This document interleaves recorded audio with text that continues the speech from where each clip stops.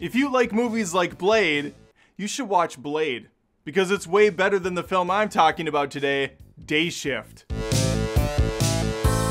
To be fair, Day Shift is really nothing like Blade outside of the premise that there's a dude hunting vampires. Everything else is, is pretty much different. Jamie Foxx takes lead here as a character named Bud, I think. He's a pool cleaner whose real job is cleaning out vampires. The premise is something.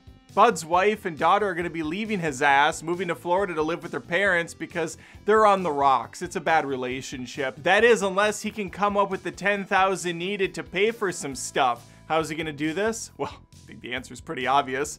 Selling vampire teeth on the black market. That's right, Day Shift is a bit like Kingsman, or Men in Black, or John Wick. There's a world within the world, a seedy underbelly with checks and balances, different players, featuring Snoop Dogg as one of them. He still can't act, but damn it if he's not cool all the same. If you've been following the channel for a while, you might be confused because I like Men in Black, I like Kingsman, I like John Wick. So why didn't this work? Why didn't this stick? Well, it's just kind of a messy film all around. For starters, the villain, who's a real estate mogul slash vampire lady, completely over the top, doesn't sell it at all, has really fake vampire teeth, and she can't really talk when they're in. It's, it's just not a good look. The movie's going for a lighter, sillier approach, but Jamie Foxx is a no-nonsense guy who's kind of an asshole most of the time, doesn't play out for laughs. He just kind of comes off like a jerk especially when he's constantly grilling Dave Franco's character Seth. Visually speaking, the movie's not bad. It has just a very polished digital look to it. There's no film here. There's no cinematic quality. It just feels like they took a bunch of 4K cameras, walked around, didn't do any post-production, called it a day. Choreography's fantastic. There are some creative weapons and kills in this for sure. I like that his bullets have wood in them, and he's got like a little Uzi, so he's like up against a vampire, pulls out his machete because I guess a katana's too cool. Whoosh, whoosh, whoosh. A vampire runs up behind as he's slicing down. He put a tripwire across the top so the vampire's like Another Cirque du Soleil vampire's flipping around. Hits it through the ceiling.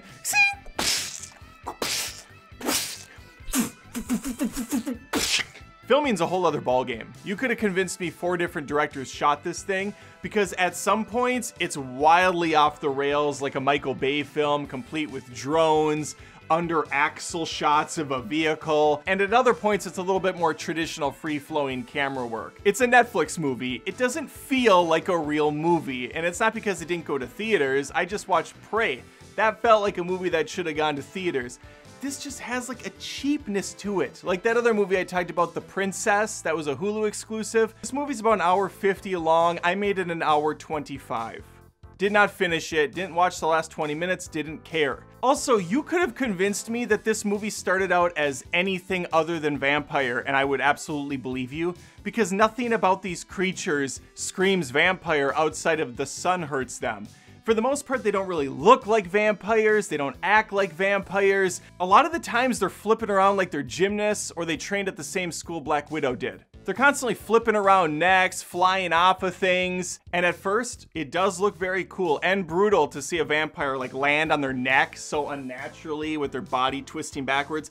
By the 50th time, it loses all its appeal. About midway through the film, two Russian vampire hunters show up, easily the best part of the movie. Uh, I could have watched a whole film about them and I think it would have been much better because they have the charisma, they have the style, they have the attitude I'm looking for out of Vampire Hunters. They were great and it was a bummer when they left the scene because, uh, yeah, that, that's the film I want to see. Not so much stick in the mud Jamie Foxx trying to make ends meet. This is an R-rated movie for action. I'm sure there was some swearing. Like, I'm just so desensitized to it, I don't even notice it anymore. Maybe you saw the film and you have a different take. Love to hear it in the comments below. Let's try to be civil, please. Uh, I'm not, I'm not attacking you if you liked the movie, okay? If you liked it, that's great. If you hated it, Welcome to the club. Like the video if you had a good time, and please make sure to subscribe if you haven't as I post tons of movie and TV show related content each and every week. Would love to have you aboard. Take care. Thanks for watching the video. Since you stuck around, maybe think about becoming a Patreon member at patreon.com slash adamdoesmovies or right here on YouTube via that join button. It's just a way to show your support. I'm a one-man operation, posting tons of videos for your entertainment It's mainly for free. YouTube is just a, a, pathetic payout system, but you can help. You can help offset that cost of my time and uh, my sanity by, by becoming a Patreon member. I'd appreciate it.